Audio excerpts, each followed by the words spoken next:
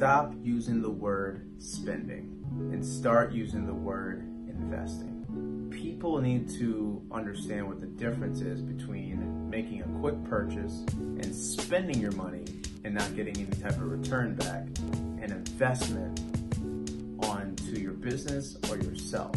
Invest in yourself.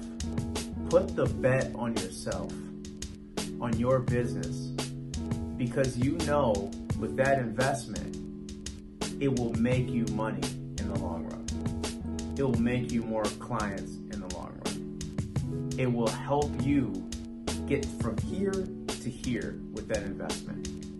Spending money is something that you're not getting anything back.